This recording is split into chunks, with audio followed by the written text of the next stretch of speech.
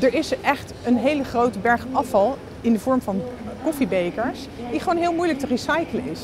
En als iedereen zijn eigen herbruikbare beker voortaan meeneemt en dat dus de nieuwe norm wordt, dus normaal, uh, ja, dan zou dat een enorme berg uh, afval schelen. En daar zetten we ons uh, samen met Milieu Centraal en de ondernemers voor in.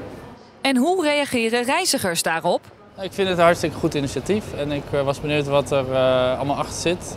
En dit is een super mooie manier om bewustwording te creëren. Ik denk dat dat toch wel een steentje bijdraagt aan ja, en je uh, groene ecologische voetafdruk. Het is altijd belangrijker dat ik denk, zeg maar, dan dat ik er echt wat aan doe. Dus ik denk dat dit soort dingen wel echt helpen om het ja, gewoon wat makkelijker te maken om daar mee te doen.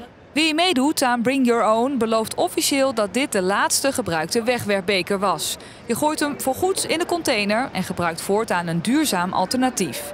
Bij iedere tiende worp gaat de container dansen en krijgt de gooier gratis een herbruikbare beker. Het is natuurlijk heel moeilijk om, om gedrag te veranderen. Hè. We weten dat, dat dat is net zoiets als het nieuwe jaar begint. Oh, ik ga meer sporten of ik ga minder vaak cake eten of ik laat mijn wijn wat vaker laten staan. Dus daar is nu ook aan gewerkt, zeg maar, achter de schermen. En dat zorgt ervoor dat je gewoon uh, makkelijker ook die stap maakt naar nieuw gedrag.